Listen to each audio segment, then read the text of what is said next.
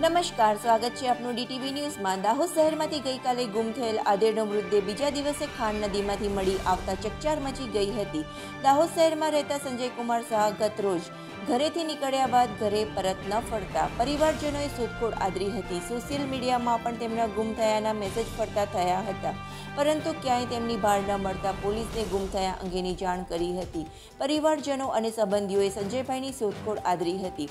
તે દરમિયાન રડિયાતી વિસ્તારમાં આવેલ ખાણ નદીના પુલ પાસે તેમનું એક્ટિવા મળી આવતા ફાયર બ્રિગેડના જવાનોએ નદીમાં તેમની શોધખોળ હાથ ધરી હતી, પરંતુ સંજયભાઈનો ક્યાંય પત્તો લાગ્યો ન હતો. ત્યારબાદ બીજા દિવસે વહેલી સવારે માછીમારોએ દાહોદના રડિયાતી વિસ્તારમાં આવેલ ખાણ નદીમાં પાણીની ઉપર એક મૃતદેહ તરતો જોતા પોલીસને જાણ કરી હતી. પોલીસે ઘટના સ્થળે પહોંચી તપાસ કરતા મૃતદેહ સંજયભાઈનો હોવાની પુષ્ટિ થતાં પરિવારોજનો સહિત આસપાસના લોકો મોટી સંખ્યામાં નદી ઉપર દોડી આવ્યા હતા. પરિવારજનોમાં આક્રંદ જોવા મળી રહ્યો હતો.